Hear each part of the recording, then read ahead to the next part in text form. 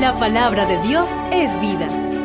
Ilumina nuestro corazón y alimenta el alma. Radio Natividad presenta el Evangelio de hoy.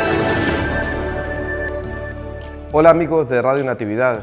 Nos encontramos en la cuarta semana del tiempo de la cuaresma y en este lunes el evangelista San Juan en el capítulo 4 versículos 43 y 54 nos presenta la lectura que hacen los coterráneos de Jesús con respecto a los milagros, los signos que él presentaba para su eh, misión profética y misión, misión mesiánica. Hoy vemos cómo un jefe, un funcionario público, hace su acto de fe en Jesús a partir de aquella petición que él mismo le hace, de que cure a su hijo, de que cure a aquel que es el fruto también de su vida.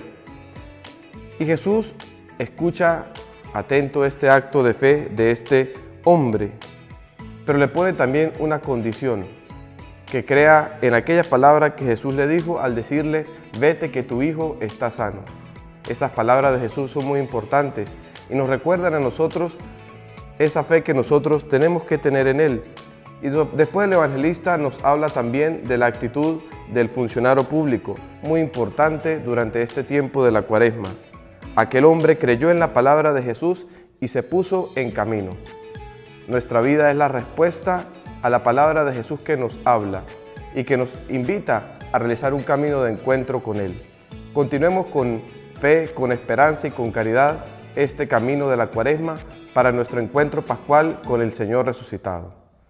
Que el Señor derrame sus bendiciones sobre ustedes, en el nombre del Padre, del Hijo y del Espíritu Santo. Amén.